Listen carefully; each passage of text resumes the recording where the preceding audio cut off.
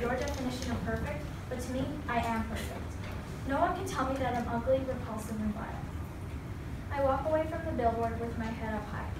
What I am is amazing, gorgeous, and beautiful. Who am I? I'm Cala Tanner, and I am perfect just the way I am. I am me.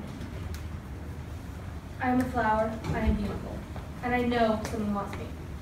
It's just not them. And that someone will not care what I look like. And that someone will not Photoshop me so much that I don't even recognize my own skin.